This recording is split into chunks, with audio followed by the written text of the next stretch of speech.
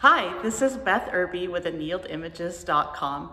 We are thrilled to be working with Enduring Images and their decal printer. We've bought it about two years ago and we use it on glass. We start with eighth inch white glass and apply our decals to preserve memories like grandmother's recipe. Our clients send us photos of their uh, favorite things and we take these pieces of glass and we frame, frame it and finish it out in stained glass just like this for our clients and uh, can be hung and enjoyed for years to come.